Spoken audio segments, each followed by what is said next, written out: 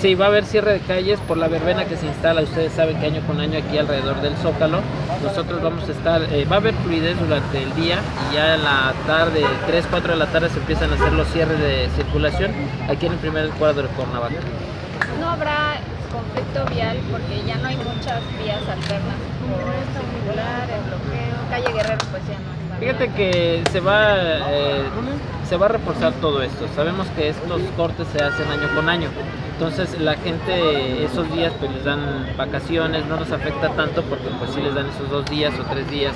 Entonces eh, vamos a, echar, toda la carne al asador, vamos a estar muy pendientes, vamos a reforzar con más personal y aquí estamos para dar resultados. O sea, esto sabemos que es año con año y no nos tiene por qué, eh, sí hay algunas situaciones que nos afectan como en años anteriores, pero bueno, estamos dispuestos para seguir trabajando y darle resultados a la gente. ¿Cuáles calles son las que se cierra la circulación? Vamos a hacer el corte en Gutenberg y Clavijero, Juárez y Las Casas, y aquí en Glorieta Pacheco o Galeana Hidalgo, por la verbena que se instala alrededor. Entonces, vamos a dejar algunas calles donde baje el servicio público, salidas de emergencia, Rayón, Matamoros. Esas las vamos a tener abiertas al público para que puedan accesar y disfruten pues de la verbena que se va a hacer aquí el 15 de septiembre.